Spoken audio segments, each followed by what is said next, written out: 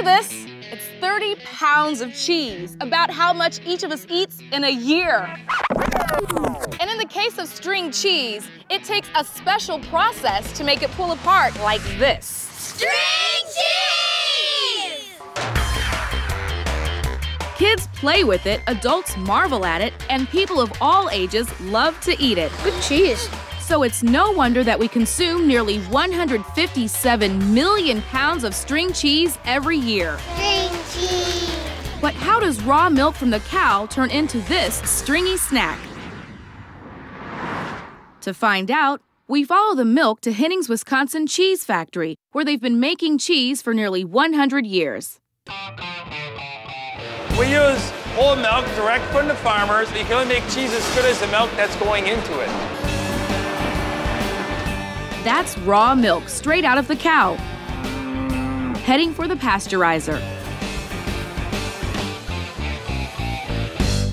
The milk is in and out of this piece of equipment in about 20-25 seconds. The pasteurizer kills the bacteria in the milk, but to start the cheese-making process, a select mix of other bacteria called a culture is added back in. Each culture is specific to certain types of cheeses. Like we will use a different culture for making cheddar cheese.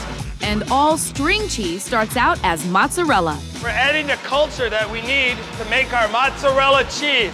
They will grow in this milk for about the next hour. So, what will the culture do to the milk? It converts that sugar in the milk into lactic acid. The acid makes the milk's protein lump together and creates something that's not quite cheese and not quite milk. You end up with this a mixture of lumpy curds and the liquid known as whey. The challenge now is to turn the lumpy parts into string cheese. To do that, the curds and whey get pumped to the curd table where the liquid is drained, and the curds are salted to stop the bacteria growth and to flavor the cheese. This is gonna add texture and body to the cheese. The curds are then rinsed to wash away any excess salt. We're gonna be shooting some water out here. I told them not to blow it out too hard so we don't get you wet. The squeaky clean curds are dumped into a cooker vat filled with hot water to soften them up. So huge screw-shaped mixers known as augers can knead the softened curds together. And what we can't see are some augers that are inside this vessel here that are that's working and conditioning and kneading that cheese. The curds come out the other end as huge blobs of mozzarella cheese. It comes from the hot water and the augers. We're lining up all the proteins in this cheese so that it can give it this texture that we see right now. And that will make just the best string cheese. But it's still not string cheese until a machine called the extruder forces the taffy-like mass of mozzarella through narrow, skinny pipes to shape it into long cheese ropes.